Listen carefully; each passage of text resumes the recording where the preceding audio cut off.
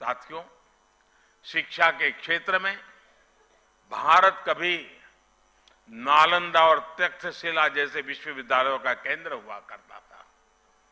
पूरी दुनिया से लोग यहाँ पढ़ने और सीखने आते थे।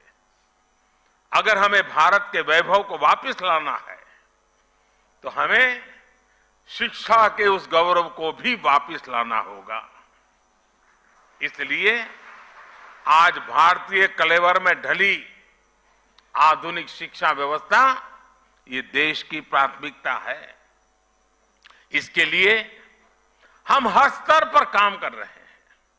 आपने देखा होगा, पिछले आठ वर्षों में, रिकॉर्ड संख्या में यूनिवर्सिटीज भी खुली है।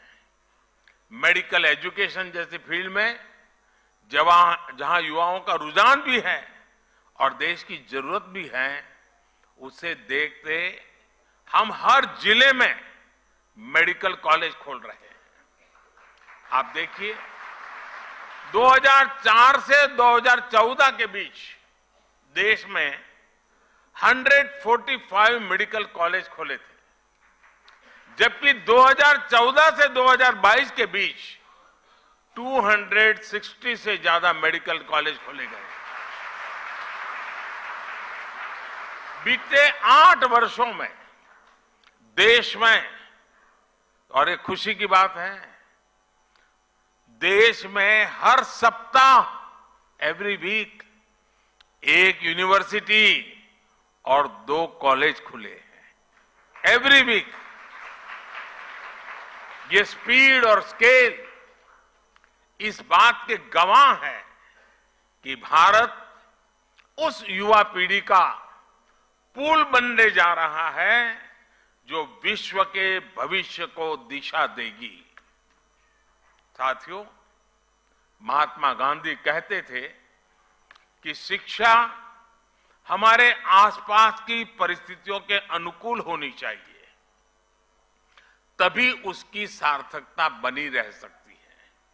इसलिए देश ने शिक्षा व्यवस्था में एक और अहम बदलाव किया है।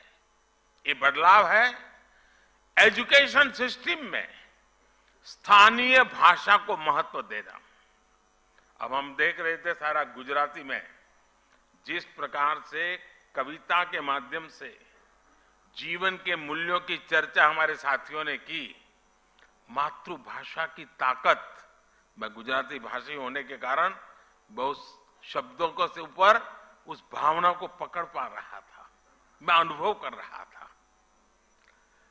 साथियों, गुलामी के समय अंग्रेज़ों ने इंग्लिश को ही शिक्षा का एक पैमाना बना दिया था।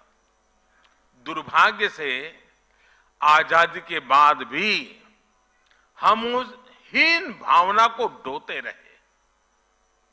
इसका सबसे बड़ा नुकसान हमारे गरीब के बच्चों को, दलितों, पिछड़ों और कमज़ोर वर्ग को हुआ। प्रतिभा होने के बाद भी उन्हें केवल भाषा के आधार पर प्रतियोगिता से बाहर कर दिया जाता था। लेकिन अब मेडिकल और इंजीनियरिंग जैसी पढ़ाई भी स्थानीय भाषा में की जा सकेगी। इसी तरह भारतीय जरूरतों के हिसाब से देश ने और भी कई बदलाव किए हैं। पिछले कुछ वर्षों में हमने पेटेंट इकोसिस्टम पर काम किया और पेटेंट फ़ाइल करने को आसान बनाया है। आज आईआईटी आईआईएससी जैसे संस्थानों में पहले से कई ज़्यादा संख्या में पेटेंट फ़ाइल हो रहे हैं। आज शिक्षा के क्षेत्र में बड़े पैमाने पर टेक्नोलॉजी का इस्तेमाल हो रहा है। इसलिए स्कूलों में लर्निंग टूल का उपयोग होने लगा है। अब युवाओं को किताबी ज्ञान के साथ ही स्किल, टेक्नोलॉजी और इनोवेशन के लिए तैयार किया जा रहा है। इससे हमारे युवा रियल वर्ल्ड के प्रॉब्लम के लिए तैयार हो रहे हैं। उनके सॉल्यूशंस खोज रहे हैं।